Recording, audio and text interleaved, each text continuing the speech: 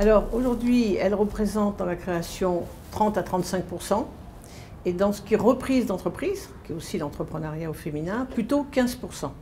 Une jolie progression à signaler depuis à peu près les années 2000, où il y a eu des programmes qui ont été mis en place par les pouvoirs publics, avec des réseaux d'accompagnement beaucoup plus actifs au niveau de l'entrepreneuriat au féminin, et des prêts d'honneur qui ont été justement inscrits pour les femmes, et des fonds de garantie spécialisés femmes aussi. Donc euh, sur ce point, une plus belle accessibilité à l'entrepreneuriat féminin, mais il reste beaucoup évidemment à faire, puisque si nous sommes que 35%, il faut qu'on soit au moins 50%, donc il y a 15% encore de marge de manœuvre. Bah, déjà, une méconnaissance d'un ensemble de dispositifs, le fait de considérer que c'est simple, alors qu'elle considère encore que c'est complexe,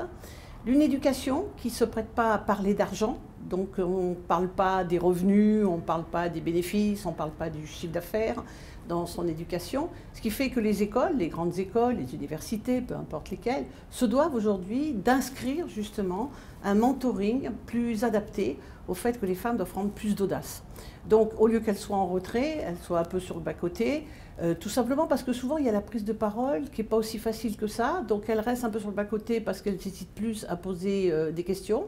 Et donc leur redonner confiance en elles. Je pense que c'est un point essentiel. Et les grandes écoles se doivent à ce moment-là de donner des restitutions au niveau des chiffres en disant voilà, tant de femmes sont sorties, tant sont devenues entrepreneurs, tel revenu et surtout telle levée de fonds, parce que c'est essentiel aujourd'hui d'amener les femmes à réfléchir aux levées de fonds. Elles peuvent très bien dire non, je ne souhaite pas qu'on rentre dans mon capital, mais elles peuvent aussi se dire moi je veux bien parce que j'ai un vrai projet et ce projet a besoin de financement.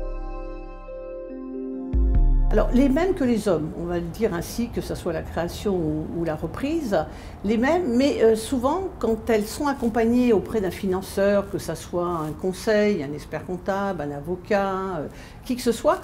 souvent le financeur a tendance à parler à l'homme. Et donc euh, c'est vrai qu'il va falloir aussi travailler euh, là-dessus, et aussi bien la Caisse d'épargne, BPI France, BNP Paribas, ont demandé à l'ensemble de leurs collaborateurs de faire en sorte de parler à la femme quand c'est une femme entrepreneur. Donc ça, les mêmes.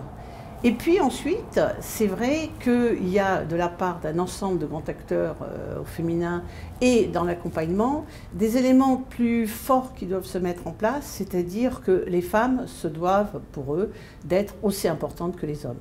Donc ce n'est pas parce qu'elles ont des petits projets qu'il ne faut pas pour autant les considérer, parce qu'on peut réfléchir aussi à les regrouper, à faire en sorte de les présenter à d'autres femmes pour que le projet soit justement plus multiprofessionnel. Et ça, c'est une volonté qui me paraît être essentielle à mettre en place. C'est le regroupement au niveau des femmes, parce qu'elles sont beaucoup plus en fédération, en ce que j'appellerais en mobilisation, mais elles ne savent pas où aller chercher. Donc je pense qu'il y a aussi dans cette partie-là quelque chose euh, sur lequel on doit ancrer des efforts et une politique publique.